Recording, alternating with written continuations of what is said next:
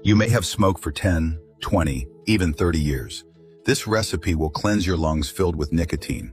It's truly amazing, like getting brand new lungs.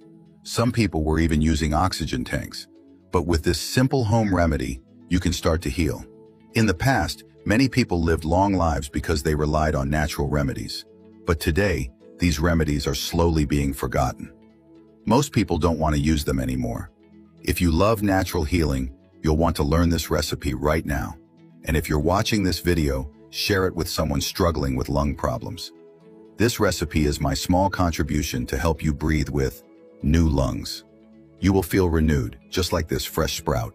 This here is the imbu sprout. Remember, it's made from the sprout, not the fruit. Take one fresh sprout, chop it finely, boil it in one liter of filtered water, strain it, pour into a bottle, and it's ready to drink. Take 50 milliliters daily for 15 days. It's the best treatment you can do, the imbu sprout. This little sprout is packed with natural compounds that help cleanse years of nicotine buildup from your lungs. Nothing works better. The imbu sprout is number one, the very best. Small, but powerful. Have you ever tried a lung remedy like this? Let's talk in the comments. Comment, yes, if you enjoy videos like this. And don't forget to follow me for more natural health tips.